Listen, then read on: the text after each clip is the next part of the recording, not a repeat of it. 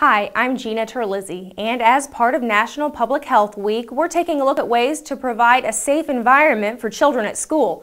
Healthy children learn better. Students' health affects their grades, attendance, behavior, and whether they graduate. And we also know that education is one of the many social determinants that influence a person's health throughout their lifespan.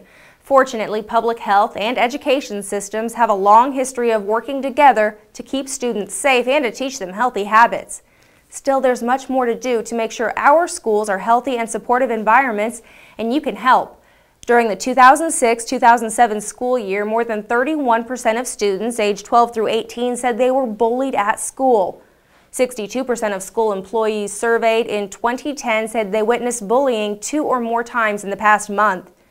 Organize for school-wide policies and action against bullying and create a safe space for kids experiencing bullying to get help. Involve the larger community in recognizing bullying and developing community-wide responses to bullying.